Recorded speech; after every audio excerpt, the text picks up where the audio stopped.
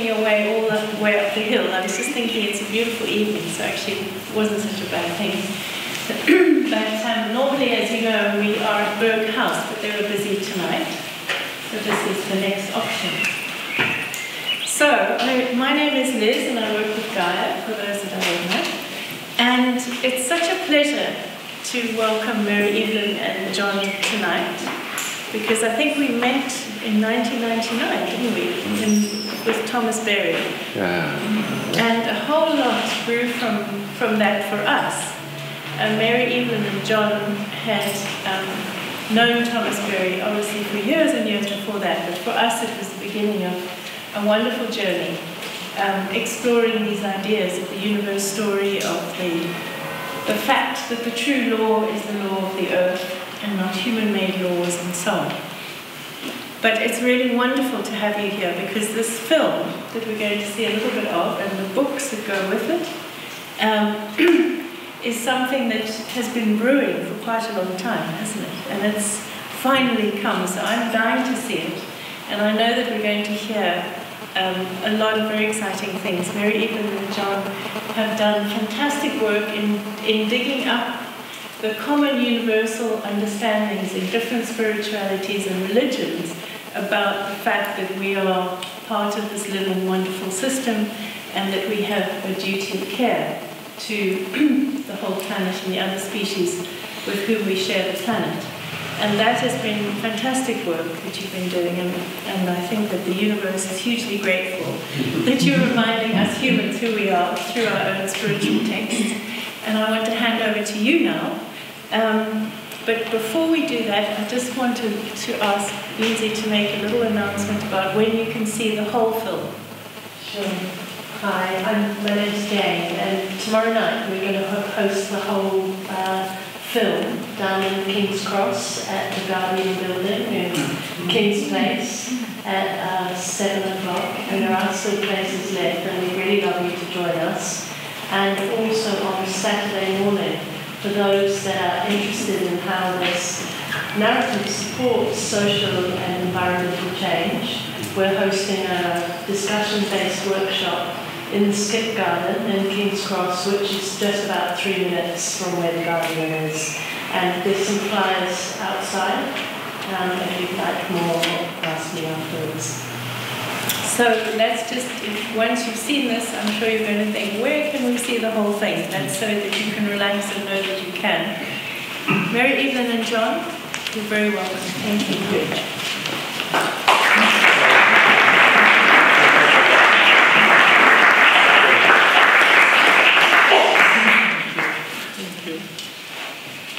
So, such a pleasure be with Liz and Ed again, and uh, a few of you who have helped uh, this wild tour through the UK. Um, and the, the advertisement commercial thing is not something I particularly like, but the Schumacher College asked us to also say next week there's a, if you really get into this, there's a five day workshop on Journey of the Universe, and Yasmin is coming um, down to it, and there are a few bursars even uh, left for that. So I'm doing my work for Schumacher College as well. Uh, but it really is a pleasure to be with people who have been thinking about these issues for such a long time and working on them in education, young people, and so on, as Jane's work with Global Generation um, is, is very much involved in. And so this is impressive when people are trying to take these big ideas of a universe story and say, how can this matter to education, to our young people?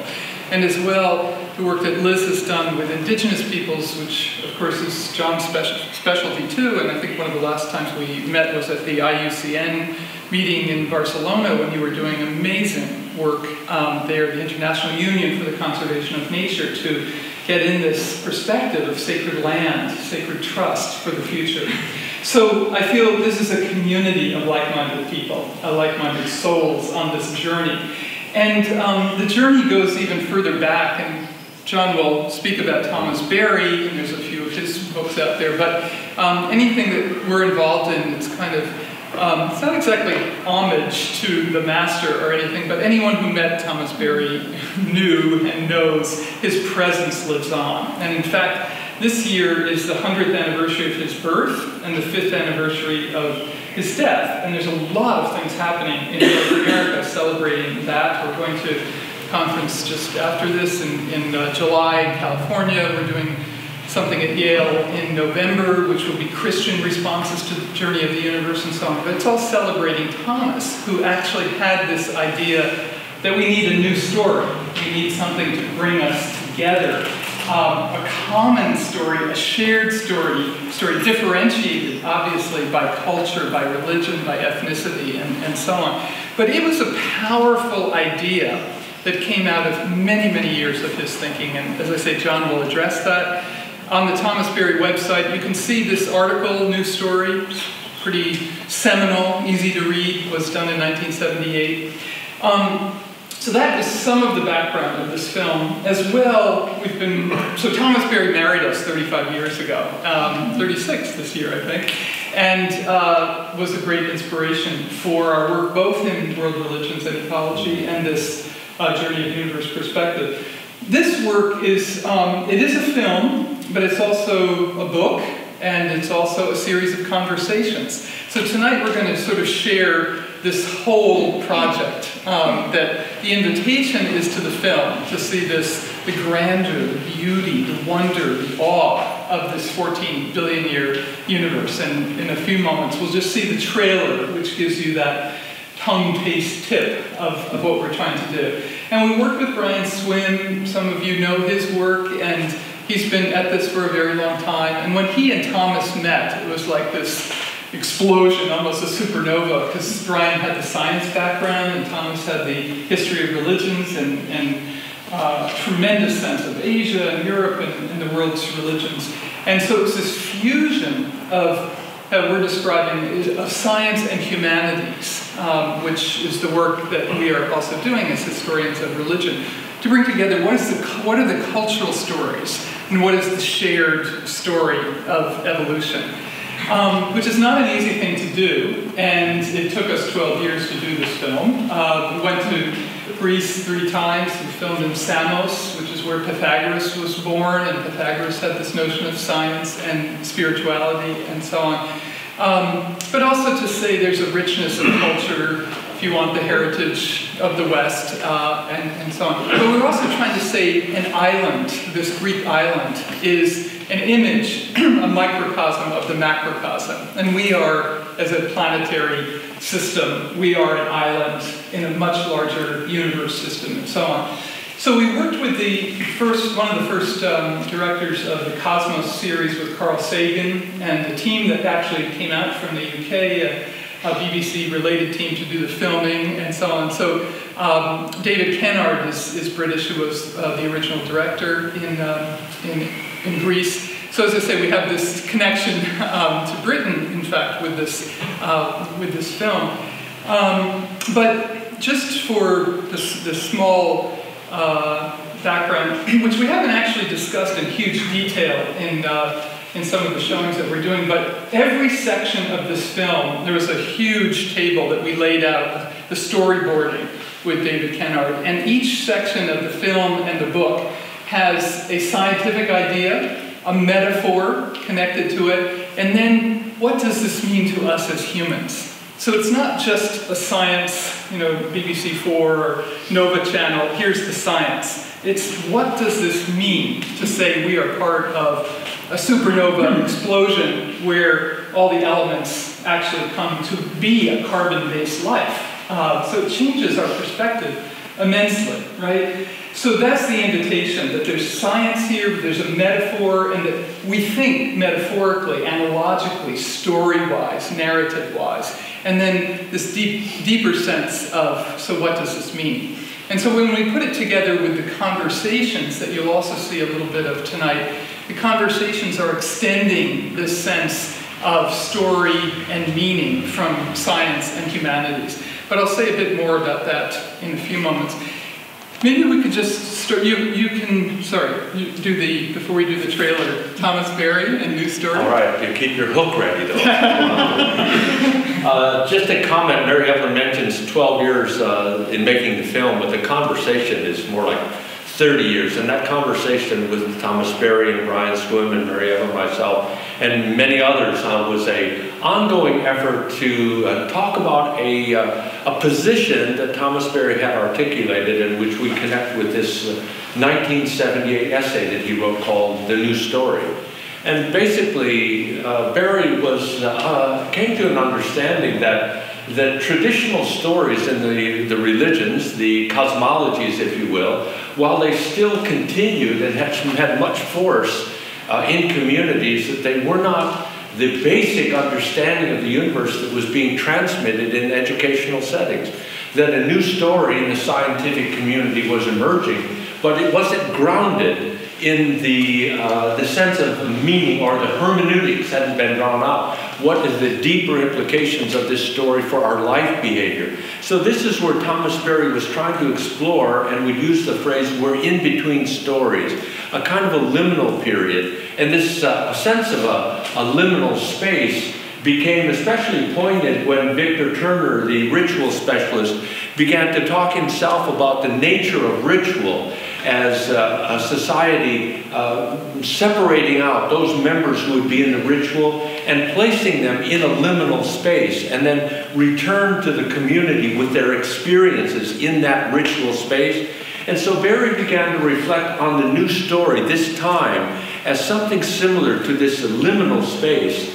And indeed, the, uh, the sense of crisis that we all face in environmental issues does press us, does push us to new innovative places.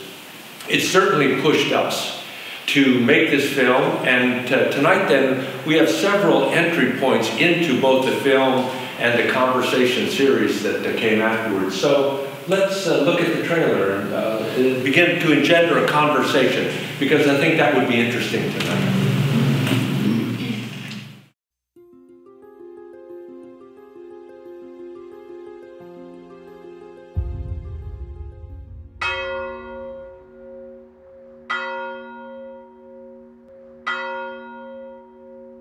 You know, Pythagoras probably walked on this very beach. And if he were here today, he would be amazed at how much mathematical science has learned about the universe. Even a century ago, we didn't know if there were two galaxies in the entire universe.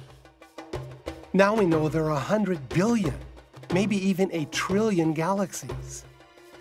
What is the creativity that brought forth a trillion galaxies?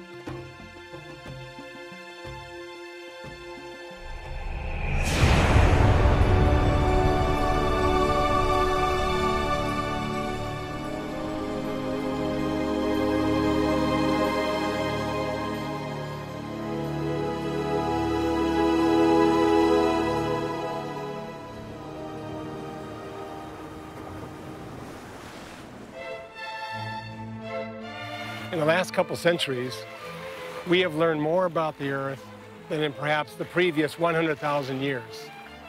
How are we going to convey that, the essence of that, to the next generation?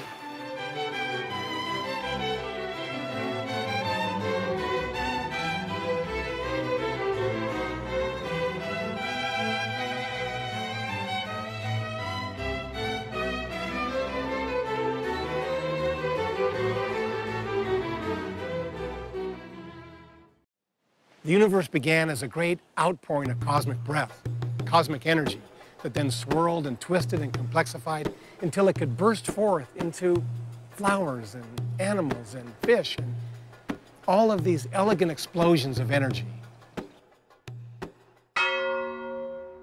These deep discoveries of science are leading to a new story of the universe. Over the course of 14 billion years, hydrogen gas transformed itself into mountains, butterflies, the music of Bach, and you and me.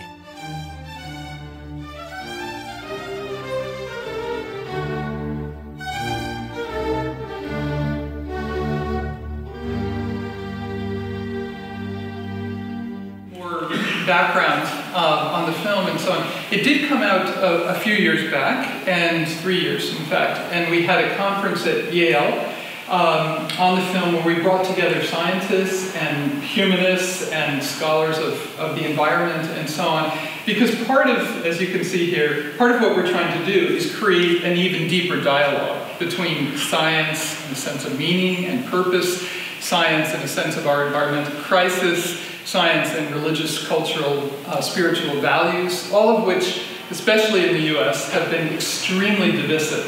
Um, and it's one of our contentions that this sense of meaninglessness, purposelessness, um, the anxieties that were much present in the existentialist movement is still enormously present in our shared societies. And so, what is, for the future generations, what is at stake here? You know, when their basic narrative of evolution within an academic framework, especially at these very powerful universities, is stripped down randomness, purposeless, meaningless universe. Have a nice day. you know, why get up in the morning? Why connect your work and your purpose and what you want to do in life to almost anything? And this is pretty much an ideology, as, as I think you know, um, this random and purposeless universe. In fact, there's a scientist, Alan Lightman, at MIT, um, who just wrote an op-ed in the New York Times on May 2nd, just a few days after the IPCC report, Intergovernmental Panel on Climate Change, came out with the latest dire news. And this physicist, who also writes in a more popular vein in, terms of science, he, he said um, something about uh, loneliness in the universe. And he said, essentially, the universe could care less about us. Nature doesn't care. We have no purpose. And why even bother to take care of nature? And then the most ironic line is all we should do is take care of ourselves. You see, that's the the end of a worldview that is very much present um, and is uh, feasting on the minds of young people who don't have a chance to see that maybe it's more complex. And on the other hand, you may have religions who just say it's all purpose, it all goes in this direction, and it's all infused, you know, with the divine presence, etc. So you have this, these two very opposing views. And what we're trying to say here is chance and necessity, purpose and emergence are much more mysteriously interwoven. It's much more complex, the chaos theory and these kinds of things that uh, science is, is showing us now. But how do you put that into a film that really invites people into that complexity, that uh, awakens the mind, the imagination, the heart, and a sense of direction. Uh, not that we are saying this is the direction, but it's simply to say, as Thomas Berry would say, we need a great story. We need an epic story. That's what moves people for the great work of the transformation. You see, whether it's food and water issues, whether it's political issues, and so on. We're in this very crucial moment in human history. And that's what is, is the background of this. Please. I'd like to just tell three short stories, if you will. Uh, one of them has to do with the showing of the film in uh, Louisville, Kentucky. And it's a gracious community up the Mississippi River. And uh, the showing was at their Museum of Science. Very lovely new uh, setting, kilted auditorium. And as we typically do, we showed the film and then had a discussion period afterwards. And the discussion was quite lively. And towards the front and off to the side was an elderly gentleman that uh, when he raised his hand, being in the front of the audience, I noticed all of the audience turned. I presume it was probably the funder who helped build the uh, building. And uh, he made this observation. Your film, he said, reminds me of when I was an undergraduate in college and I took some humanities courses and I remember that uh, above the door of the Delphic Oracle was the motto that uh, Socrates took as his life direction. Auton, know thyself. And he said, that's what you're asking us to do in this film, aren't you? You're asking us to know ourselves in a new way. And I thought to myself, You really nailed it. He really got it. That there's a call to us in our times to not simply jettison or eject, erase what we might call tradition or the past because the science community is uh, revealing or helping us enter into our own past. But he's uh, opening up that past, or the scientist rather is opening that path in a way that she might not even be totally reflective, namely our sense that uh, this is uh, that the uh, journey that the matter has made, and that matter has come to us now, we have that conscious expression of matter that we share with animals, and indeed some would say throughout universe emergence, if it's conscious if, in us it's all the way through. Another uh, moment in the showing of the film is in China. Uh, we showed the film at the Harbin Institute of Technology, and the dean of that institution assured us that there would be 100 students who could understand the film, and we didn't have the Chinese translation done. And uh, we came to the room, and there were 400 students, all talking. And when we walked in, that wonderful uh, Chinese attention, silence, they turned to us and they began to clap. You know, it's just like lifts a person up. You're really there. We made a few introductory remarks, showed the film, and then it was time for this discussion. And the dean got up and uh, let's have the first question. And he called the student, and that student looked at, I stood up and he looked at us and he said, uh, You two are married. He said, You know what love is. Tell us what love is. And how did love come out of the universe? Isn't that marvelous? I mean, this is out of a culture now which has attempted to erase its own spiritual path, past and is left with this materialist aggrandizement as, a, as an ethic. And yet, from out of that people, these voices are emerging, these youthful voices. And finally, not so much a story, but one of the major questions that we get after people have watched the film is, and in some settings, not all, but they see it and they, uh, someone raises their hand and says, uh, where's God in your film? If you're talking about creation, where's God? We had that question, we have a Spanish version and we had that in Costa Rica when we showed it. And it was, a, it was the question was framed in a lovely way by a woman up front. And then spontaneously in the back, a principal of a high school stood up and she said, My goodness, she said, Did you watch the film? Isn't the divine everywhere in this, uh, this created reality? So, what we had tried, what we were trying to do in this film is really a middle ground, find a middle ground. That the science community, I think, has very correctly a, reduction, a reductionist methodology. And it's such a powerful method.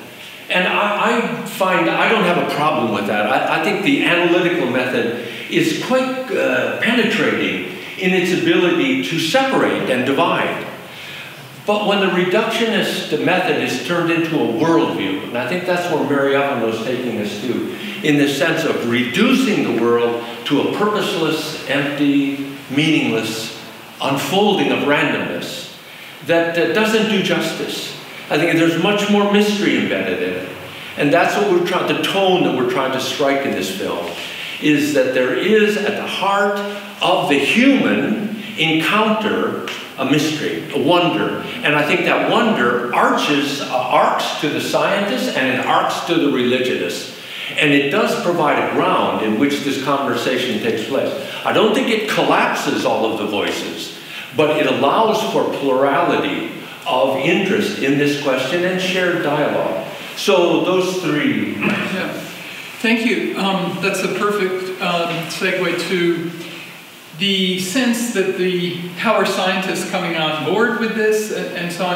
Actually, we spent um, many summers during this decade of, of making it and several years finishing it and so on, but with, with a science group out in Whidbey Island in uh, Washington State uh, at a little conference center working out the science and this sense of metaphor and, and, so on. So it was very carefully done in conversation over many years, and Ursula Goodenough, who you'll see in a few moments, read the whole manuscript. She's a cell biologist. So we've been in long dialogue with some very wonderful and helpful scientists. Uh, Peter Crane actually is our dean now at the School of Forestry and Environmental Studies, which is a very science and policy-based school for the environment. 100 years old, which in the US is old.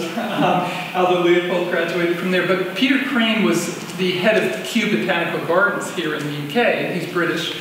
And also at the Field Museum in Chicago, Science Museum. And he has been hugely supportive of this film. We showed it at the Field Museum and, and several other natural history museums.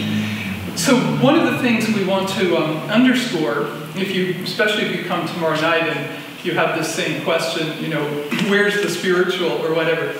We were working in an atmosphere of the US where this non dialogue of evolution and religion is very screechy. And you have a partner here, Dawkins, who's made it quite screechy too. Um, so we don't we call it a non-dialogue, uh, in fact.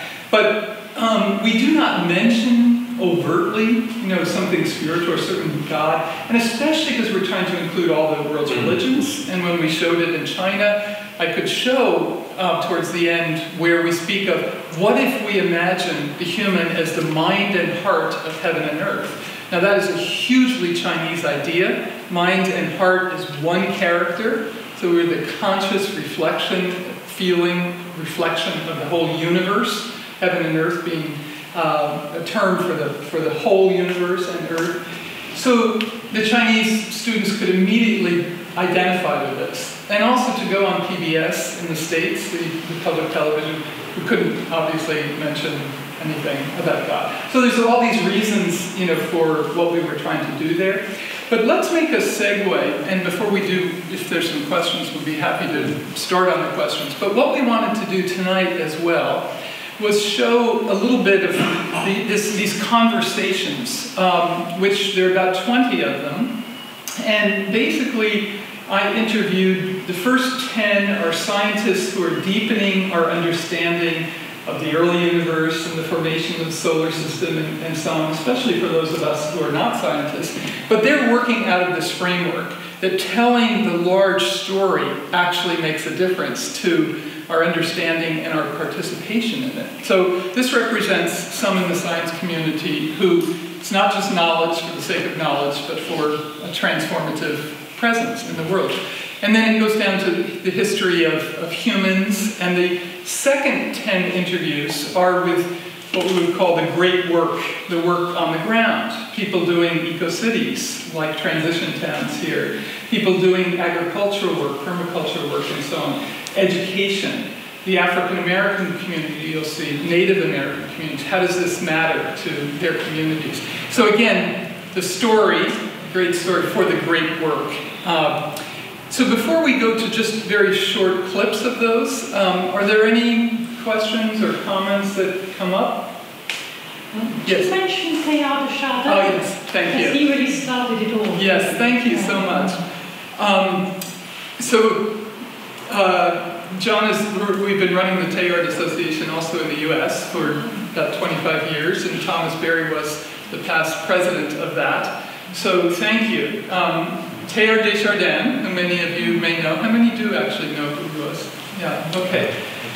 So he was just a huge inspiration to Thomas Berry, and so that's the, the grandfather of the movement. Thank you so much.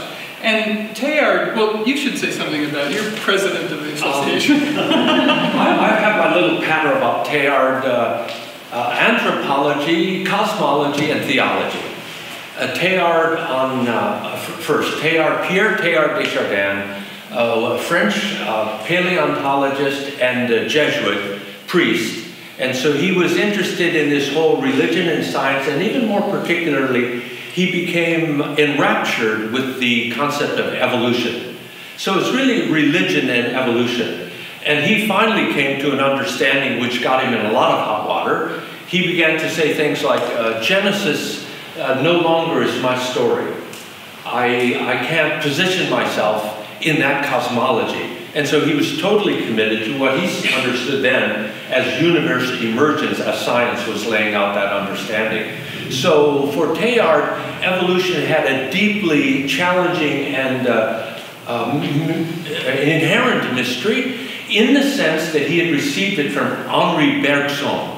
So it's Bergson's creative evolution that gave Teilhard his take on this, uh, the dynamic character of evolution as inherent mystery. Uh, Teilhard knew of Darwin's work, but he was actually much more committed to Lamarck.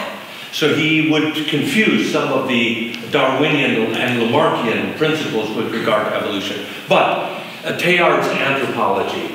For Teilhard, he was committed to the human in the mainstream of evolution. At the time, Teilhard's dates are 1881 to 1955. So as he came in the 1914, he was a stretcher bearer during the war. He had, he had just been ordained as a Jesuit priest. He would come out of the war and step into a position of geology as a paleontologist at the Institut du Catholique in Paris. So he, he was primed and came into his scientific, uh, a place of his scientific work. But in that first uh, uh, effort to articulate his work, he knew uh, that to situate the human as an eddy out of the mainstream was, uh, uh, for him, a mistake. And you see, the, the evolutionary uh, understanding located the human off the mainstream because we're so unusual in our consciousness and in our capacity for self reflection. We did not extend that to animals and certainly not to inorganic matter. So we were totally uh, unusual. And if the mainstream of evolution is this random process, religion nicely handled, it, the eddy? We were a special creation of God. So for Teilhard, it was totally unacceptable into the mainstream. If there's consciousness in the human, goes all the way back. So you can see where Teilhard is already talking about patterning in the deep universe. Consciousness in animals is different than ours, but it's there. Consciousness in inorganic matter, it's the patterning. It's not the same type of consciousness as ourselves, but it's inherent pattern. Maybe he has uh, John's gospel, the logos in mind. He doesn't go in that direction. He really goes more towards Pythagoras as the film does. So Teilhard's anthropology, the human cannot be separated from the mainstream of evolution. His, uh, his cosmology, the universe, uh, by and large, and Brian will start the film off by saying it was typical for scientists until actually really recently, I think into the 70s, we would think of the universe as a fixed state in which things like atoms and galaxies change, but the universe itself was fixed. And it's from the 70s, uh, there were certainly inklings earlier, but from the 70s, it's, we now have a clear understanding the universe is expanding. And it's changed all of our positioning and given, of course, ammunition to the purposeless camp, which is another discussion. Let's not go in there. But uh, the sense for Teilhard of uh, a universe that was unfolding was central to his thinking. So he has this sense that the universe is not fixed. It's an unfolding universe, and hence it has a, it has a story. And for Teilhard, it came to the human. So Teilhard has this uh, strong anthropocentric character, which I would want to critique in Teilhard, but uh, he's no longer alive, so the dialogue has to be only one way. A third, uh, theology. Teilhard's a God. It got him in all this trouble. He was exiled because of it. Uh, and just briefly, uh, there's no God out there for Teilhard. It's totally within the system. So Teilhard is struggling in his thinking. How do you talk about this divine presence in creation? And for Teilhard, he began to resolve it in his discussion of matter and spirit. He would not use the and. In his writings, uh, I'm sorry, he would uh, at times use it, but they were matter spirit. I, I like that phrase because they could not be separated in his understanding. They were two variables. Matter shows itself in different ways, and so does spirit, but they are two sides of the same reality. So the divine is uh, for Teilhard a future uh, call it is evolution, and evolution is pulling uh, matter forward. Matter tends to the curvature of space. It tends towards its own dissolution. I'll go on here. You know, the interesting thing is Um, Teilhard may seem antiquated to some, but we did the 50th anniversary of his death in New York in 2005. A thousand people showed up at the UN for Teilhard. It was amazing. 200 people came from France, including Camdessus, former head of IMF, the head of the World Business Council on Sustainable Development, and a lot of French intellectuals and, and so on. It was quite interesting. Um, the next day at the Cathedral St. John the Divine and Episcopal Cathedral, 1,400 people came. There were things all over New York. It was astonishing. So that background that you heard a, a glimpse of is very important for this overcoming the woundedness of our world with a sense of it's all matter and we have a spiritual journey to heaven or something like that. You know, it's so this is a, a fusion, a new integration. Uh, and certainly indigenous peoples understood this, but many cultures around the world have as well. The Chinese culture and Qi is matter spirit, matter energy, you see. So anyway, um, probably with that long response to one question, is there anything else um, emerging? Because otherwise we'll go, go to the... Uh, so what we're going to do here, and we will promise um, at the end when we have more conversation to answer uh, more briefly so that we'll have some dialogue. Yes. Um, you have the hook, you can. No, no, I'm as guilty as anyone. Uh, so just a brief introduction. This first one, what we're going to do is see three scientists, and then we're going to see three uh, engaged environmentalists. They're only three minutes each, um, but we'll just give a brief background, and then we'll open it up for some further discussion. So the first, yes? Just a minute long. a minute long. Okay, perfect. That's fine. So the first one is Joel Primack, who's a um, hugely respected scientist uh, at University of California, Santa Cruz. He works on the Hubble telescope. He has time on that, which is how hard that is to get and so on. But he's doing work on the early universe, and in particular dark matter. He's one of the people who first came up with that idea and so on. So you can watch the longer versions of these. These, again, are just a little taste, okay? So this first one is Joel Primack. Joel Primack, you're one of the originators and developers of the cold dark matter theory. Can you explain it to us? Well, first of all, we now know that almost everything in the universe is invisible. All the stars in all the galaxies the planets, the gas, the dust, everything that we can see with our telescopes adds up to about half of 1% of what's actually there. The vast majority of the matter in the universe is made of some mysterious stuff called cold dark matter. We know a lot about its properties, but we don't know what it is. Craig Kochel is a geologist at Bucknell University and has done uh, work with NASA on the Mars uh, exploration, and his specialty is uh, um, geomorphology, especially the flow, geological patterns after a, a natural disaster. So uh, Craig is uh, a long-time student of evolutionary formations. And, and, especially helped us with the plate tectonics part -hmm. of the uh, of the film to say that these, the understanding of plate tectonics, which is relatively new, um, even for science, and it took about 50 years to actually prove it. And that is one of the reasons we understand this is a volcanic, moving, changing universe, Earth producing, sorry, a life producing uh, Earth system. So this is just a snippet from Craig. Well, what you've been telling us so richly is the story, isn't it? The Earth it story. It's a dynamic story, and that, to, to me as a geologist, what makes it so fascinating. It's changing constantly, and it's changing today on a daily and a moment by moment basis. But it's changed in the past the same, and maybe even more catastrophically in the past. What geology gives us is a sense of the timing of the story, the history of the story. We look at a mountain range like the Alps it didn't go up overnight. It took 20 or 30 million years of uplift, little bit by little bit, fault by fault movement to get it up there. But geology gives you that breadth of time to accomplish these processes. So he had just flown in from New Zealand to do that. We filmed in California, and uh, he's doing all this amazing work on the glaciers and their changes and melting and so on. And the final one of a scientist, um, had to have a woman in there, uh, is uh, Ursula Goodenough, who, as I mentioned, helped us hugely in surveying the whole book and whatnot. But she is a cell biologist um, and has taught a course at um, Washington University, where she's based, with colleagues from physics and chemistry.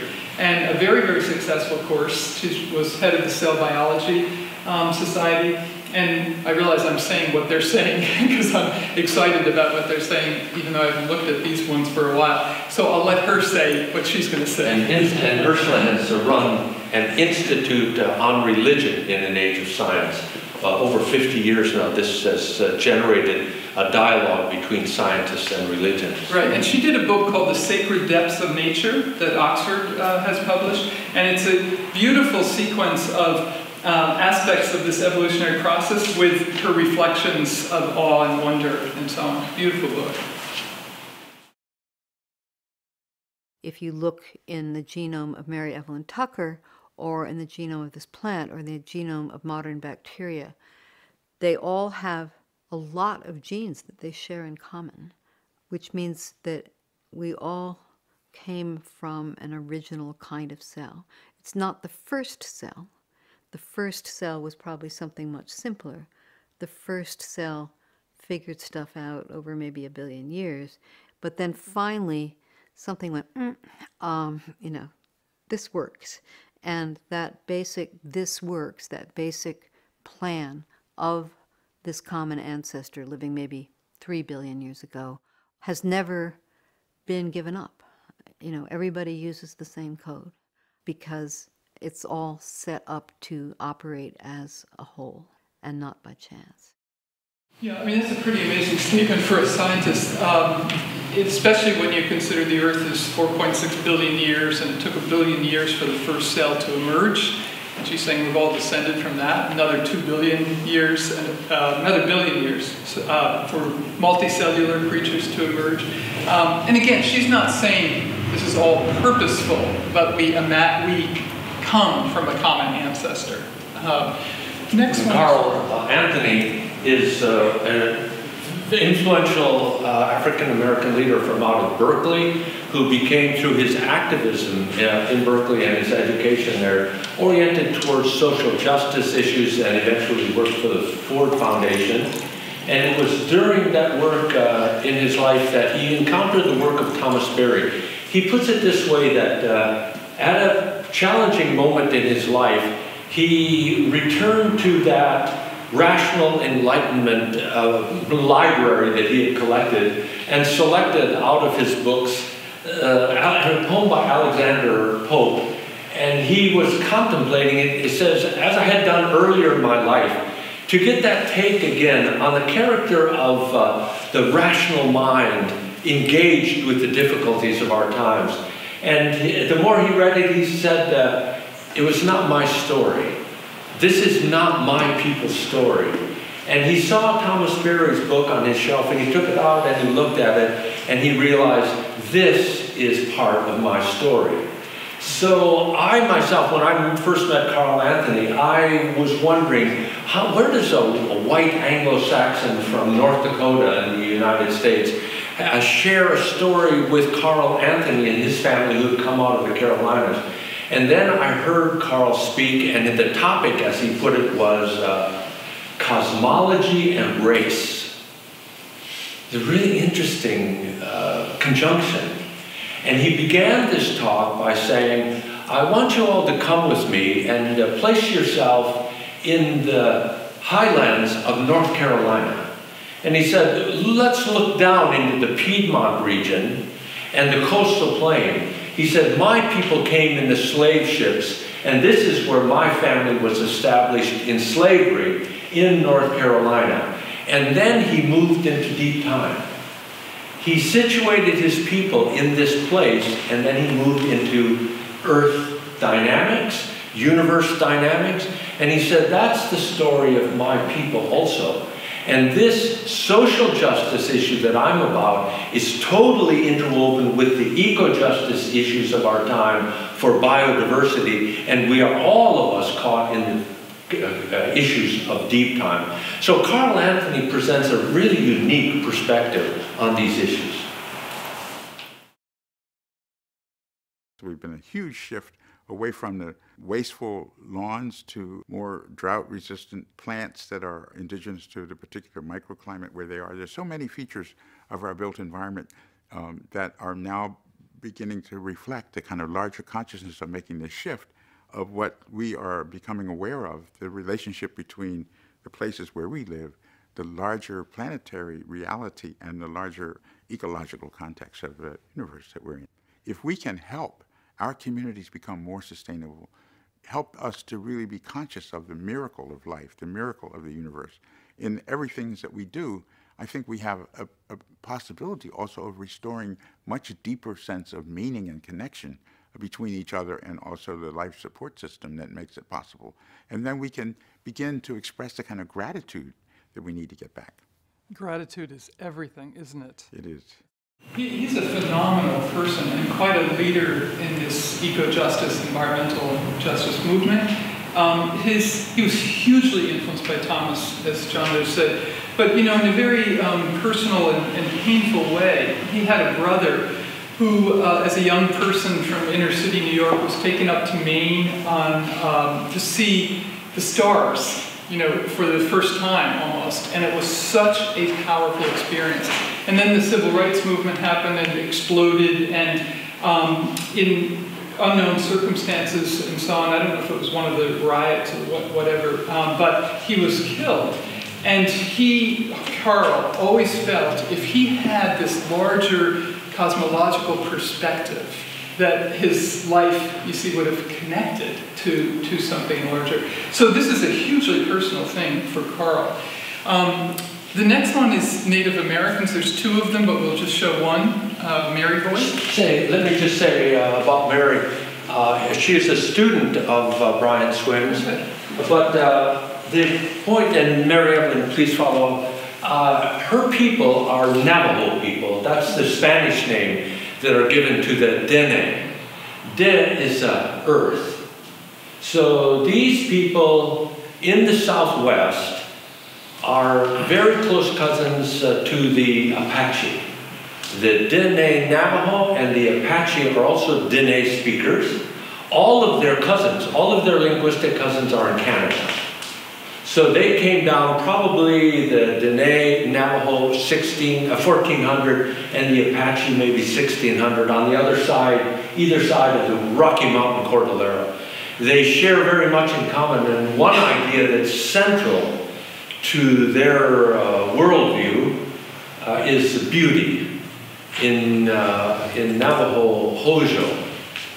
And Hojoni is to, uh, to walk in beauty.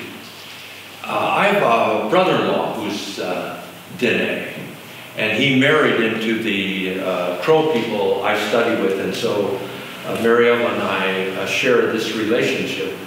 And this brother-in-law, when he came up to the Crow world, uh, he began to bead. He had never beaded in his life. But the Crow people in the northern plains, very different language group, different cultural group. You know, it's like uh, Russia and uh, England, you know, that kind of difference.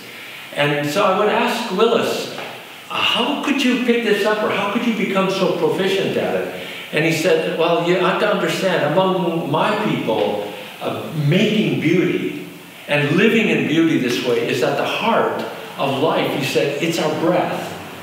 It's that which gives us our life. So you find beauty. I think it's descriptive of all of us. And that sense of uh, in the Dene people is that the relationship with this reality, this earth reality, is for them a way of, uh, of learning. Uh, learn from the natural world by giving. And I think we hear a little bit of this in uh, Nancy's comment. We'd love to have you describe a bit in your studies of the cosmology and the indigenous science of Navajo ways of knowing, of ways of being, of ways of living. A sense of interrelationship of all things is very important as a way of knowing. Um, another thing that's very important in a waves noise process. Everything's moving. It's a dynamic universe. Nothing is static. And um, these things play out through the language. But in the native languages, particularly Navajo, it's all to do with the verbs. It's a totally different way of looking at the world. When you look at everything in motion, everything's alive, everything has relationship with each other.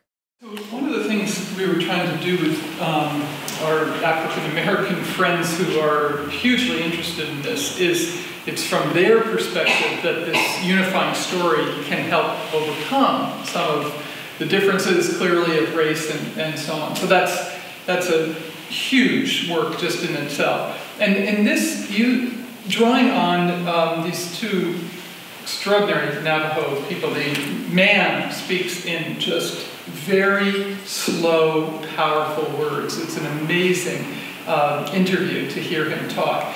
But we're also trying to say there suggest um, is this story is not overriding stories of other peoples and so on, but it's integrating with. And that's a whole other conversation. Maybe we can come to it in a, in a few moments. Um, but that's a um, that is something that needs to be hugely respected, where, where stories are coming from in various cultures and traditions. Um, our final uh, piece here is actually moving into some of the modern concerns about food and how our food is grown. And so this interview is with Penny Livingston, who's one of the leaders of the permaculture movement in Northern California, which of course is all over the US and here as well. So permaculture or biodynamics, there's various uh, means of organic growing. And uh, we'll just see a few moments from Penny, Northern California. And as you've said about the soil, I love the way you put it that the complexity of the soil is like the complexity of the earth and the whole universe. And so we're seeing it in this microcosm, if you will, and nurturing that kind of complexity. Yeah. Even though we don't understand the full dimensions of that interactive community.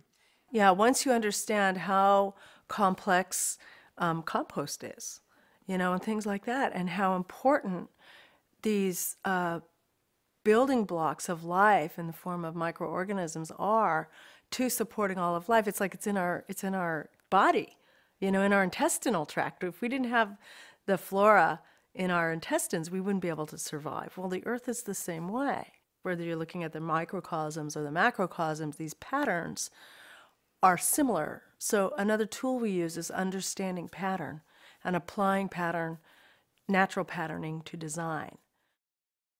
So that's just a tongue taste tip of some marvelous people doing the great work and so on. There's eco-cities, there's eco-economics, there's education, there's a whole range of other interviews. Um, you can see the other little clips online on the Journey of the Universe uh, website.